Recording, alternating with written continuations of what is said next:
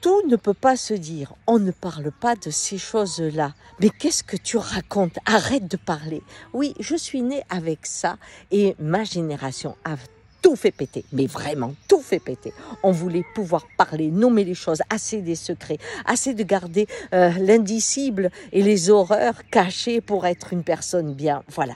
Et donc, euh, je me suis battue pour ça.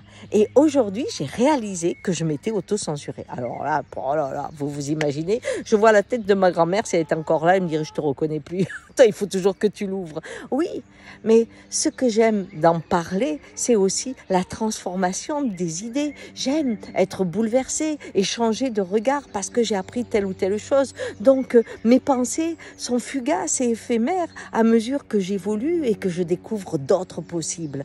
Seulement aujourd'hui, où nous avons la technologie, où on fige les images, où vous n'avez plus le droit d'avoir été, vous êtes toujours dans une immortalité qui fige votre pensée, eh bien, cela devient dangereux parce que les valeurs du monde évoluent et que ce qui était bon à une époque devient mauvais à une autre, que telle liberté devient une prison ensuite. Vous voyez, cette transformation en profondeur de nos valeurs met en danger la pensée fugace de l'éphémère qui attend d'être transformée encore et encore. Alors, j'ai cette vigilance que je n'avais pas il y a encore un an ou deux. Étonnant, non? Et vous, ça se passe comment? Ciao